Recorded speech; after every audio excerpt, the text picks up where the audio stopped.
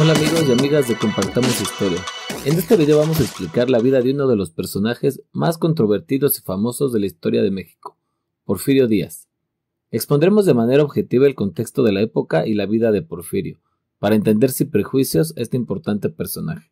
En este primer video, te contaremos de su etapa como héroe nacional, junto antes de llegar por primera vez a la presidencia de México en 1876. Porfirio Díaz fue bautizado en la ciudad de Oaxaca, el 15 de septiembre de 1830. México entraba en su décimo aniversario como una entidad política independiente. Oaxaca fue una de las cunas del liberalismo mexicano y produjo los dos líderes políticos más importantes de la segunda mitad del siglo XIX, Benito Juárez y Porfirio Díaz, quienes dominaron la vida política de México durante más de medio siglo. Las dificultades económicas y la incertidumbre política que hubo en Oaxaca después de la independencia se vieron reflejadas en las privaciones que sufrió la familia Díaz. El padre de Díaz, José Faustino, al parecer descendiente de españoles, habría tenido diversas profesiones, como minero, agricultor, veterinario, herrero, mesonero, entre otros. En total, Porfirio tuvo seis hermanos, dos de los cuales murieron en la infancia. La vida de la familia Díaz se vio aún más difícil, cuando su padre murió de cólera en 1833. Existen algunas versiones que dan incertidumbre a la historia oficial sobre el padre de Porfirio Díaz. Una de ellas, que el verdadero nombre de su padre era Rafael Díaz de León, un arriero mestizo ambulante de Jalisco que realizó numerosos viajes a Oaxaca, en los que engendró a algunos niños con una india mixteca. Otros apuntan a que su verdadero nombre era José de la Cruz Díaz. Estas versiones también pueden apoyarse en el hecho de que Díaz realizó un blanqueamiento de su historia, en la que al tener un linaje europeo daba mayor legitimidad y oportunidad a las familias, según el pensamiento de esa época. Incluso, se cree que en sus últimos años Porfirio aclaraba el color de su piel usando polvo facial. Sin embargo, nunca ocultó sus orígenes mestizos. Su madre era Petrona Mori, nativa de Yodocondo, en la Sierra Mixteca, e hija de padre español. A pesar de la muerte de su marido, tenía ambiciones para sus hijos. Desde los seis años Porfirio asistió a la escuela primaria. La carrera inicial de Porfirio fue el sacerdocio, pero pronto cambiaría de opinión. Algunos sucesos marcarían su futuro. El primero, la invasión estadounidense, en la que varios estudiantes ofrecieron sus servicios al gobernador de Oaxaca.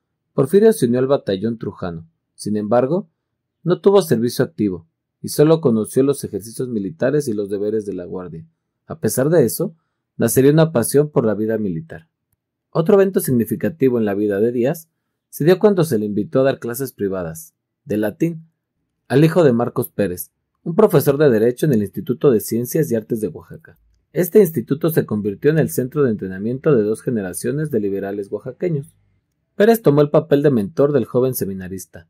En 1847 lo presentó a Juárez, quien acababa de ser nombrado gobernador del estado.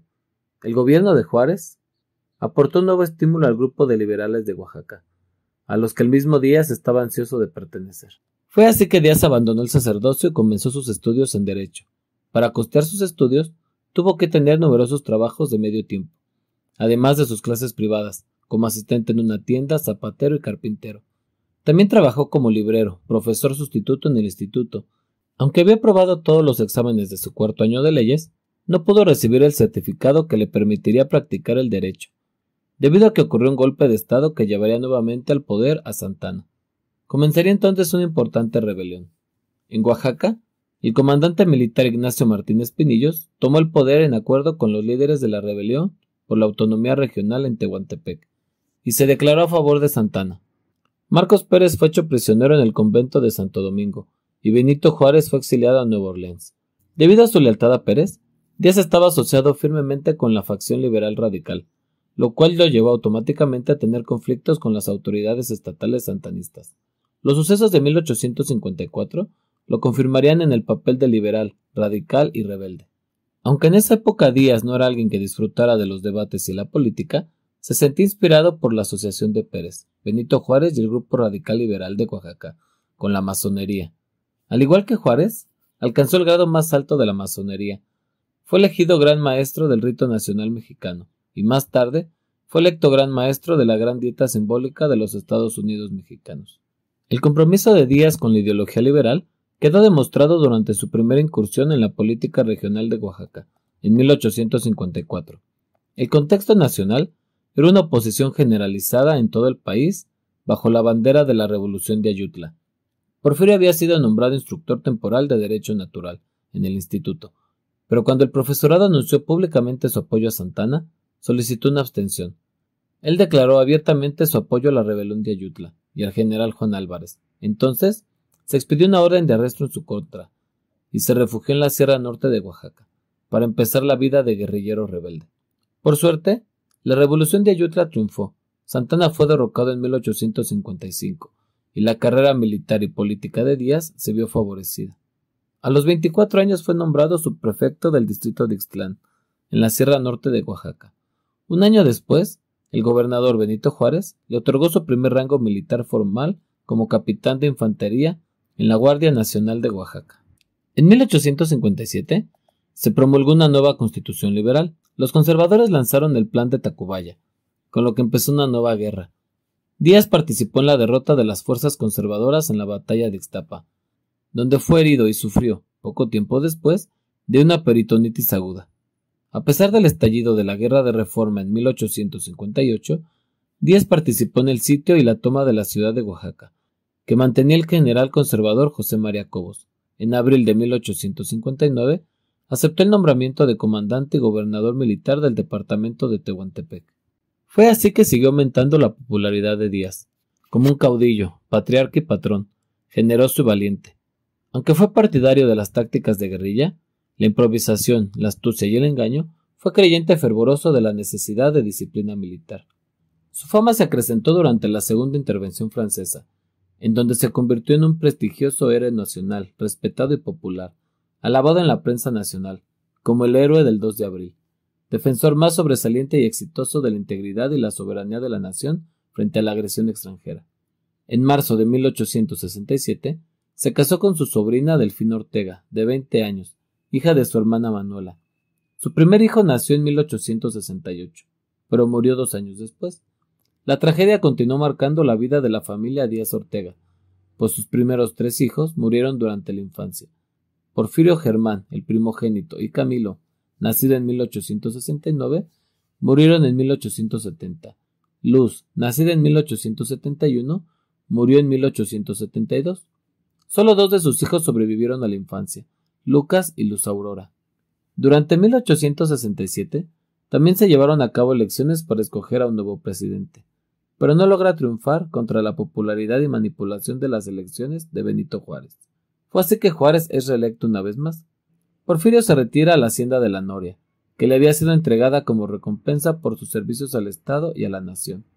En 1871 vuelve a la competencia por la silla presidencial, con el apoyo de su hermano Félix, a quien apodaban el Chato, que en ese momento era gobernador de Oaxaca. En su campaña política prometió respetar la Constitución de 1857, la autonomía de los estados, el derroche burocrático y la intervención militar en la política. Al ser derrotado de nuevo, Díaz lanzó el Plan de la Noria, el cual fue publicado por el gobierno de Oaxaca. Su hermano Félix se declaró parte de la rebelión contra el gobierno de Juárez, bajo el lema menos gobierno y más libertad. La repentina muerte de Benito Juárez, en julio de 1872, acabaría con las aspiraciones del Plan de la Noria. Lerdo de Tejada asumió la presidencia y ofreció amnistía a los rebeldes porfiristas. Al paso de cuatro años, Lerdo también se reelegiría. Porfirio, que había preparado con gran cuidado su campaña, junto con todos sus aliados de la República, diseñaron una inteligente estrategia política y militar. Díaz dejó su hogar en la hacienda de la Candelaria, para irse a Estados Unidos, y establecer una base de operaciones en Brownsville, Texas. En diciembre de 1875, la invitación para unirse a la rebelión se extendió a todos los gobernadores y a todos los comandantes militares regionales. El mensaje político de esta invitación era explícito. Lerdo había violado uno de los principios fundamentales del liberalismo del siglo XIX, la inviolabilidad de la Constitución del 57, y por lo tanto merecía ser sustituido. El 16 de noviembre de 1876 triunfa la rebelión de Tuxtepec, cuando Porfirio derrota a las tropas federales. Díaz dio el paso decisivo. El 23 de noviembre ocupó la Ciudad de México, a la cabeza del que se hizo llamar el Ejército Constitucional. Fue así como Porfirio Díaz llegó al poder.